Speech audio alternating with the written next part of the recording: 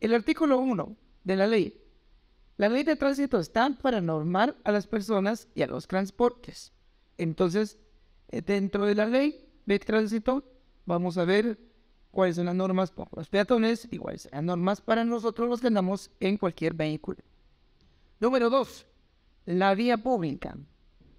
Las carreteras, caminos, calles y avenidas, calzadas, viaductos, aceras, puentes, pasarelas, los ríos y lagos navegables, el mar territorial y demás vías acuáticas son de uso de todos.